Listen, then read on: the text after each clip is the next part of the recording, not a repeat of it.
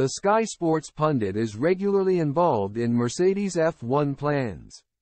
Sky Sports F1 lineup includes a pundit who is currently part of the Mercedes team looking to give Lewis Hamilton and George Russell the edge over their competitors. Ant Davidson recently sat down with Sky Sports F1 team to discuss his role as a simulator driver for the German constructor. It's been a rough few seasons for Mercedes, who have fallen behind Red Bull as the dominant force in F1. They had won eight consecutive Constructors' Championships between 2014 and 2021, but since then, they've endured a difficult time on the track, with both Hamilton and Russell having struggled with the new updates to their car. One of the ways they look to combat those problems though is via simulation drives, something Davidson is well acquainted with.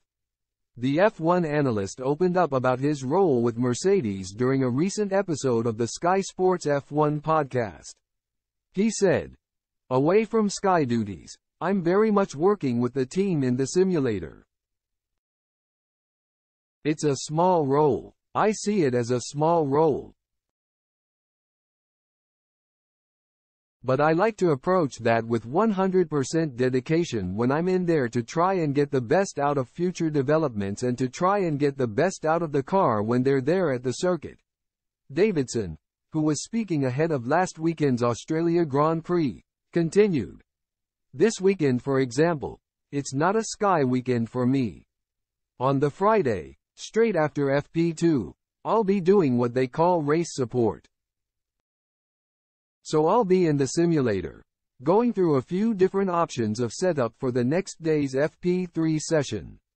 So while they're sleeping over there, in Australia, we'll be working through our early morning to deliver them at the track some different options that I've given the virtual thumbs up to.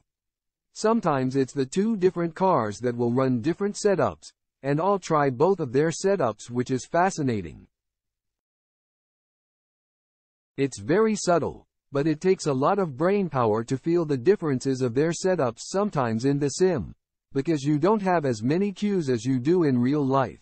So you're trying to fill in the missing pieces. Having seen both Mercedes cars fail to finish Sunday's race in Melbourne, Davidson and co. will be hard at work to try and arrest any problems ahead of the next race. They'll have plenty of time to work on the cars too because the drivers will enjoy some time off this week, before returning for the Japanese GP in early April.